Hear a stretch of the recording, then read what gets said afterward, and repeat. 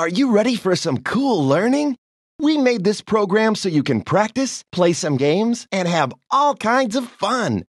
Are you ready to do some math?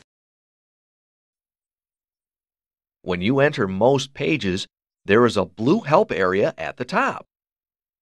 If you need help, touch the question mark. Here's how to do it. First, add the ones. 6 plus 6 equals 12.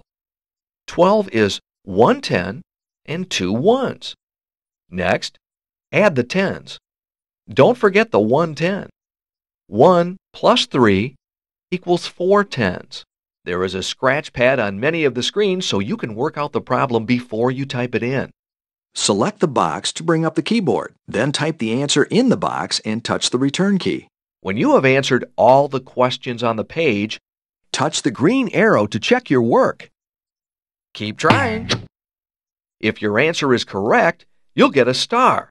If your answer is incorrect, you'll get a red check mark. See how one of the balls at the bottom of the screen turned red? This tells you that some of the answers are wrong and need to be corrected later. You can go back to correct your answer anytime by touching on a red ball. If all the questions had been answered correctly, you got it. Try this one. The ball would have turned green.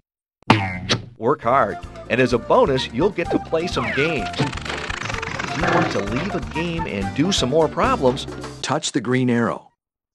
If you see an envelope icon on your screen, it means you can share a worksheet with someone by email. When you've completed all the exercises, but you have some incorrect problems, the program will automatically take you back to correct your work. Hooray for you! After successfully completing all your exercises, you can share your certificate or play more games. If you want to start over, touch the blue return arrow. Remember, if you want to exit the program at any time, touch the stop sign. The next time you start third grade math, you will begin where you left off.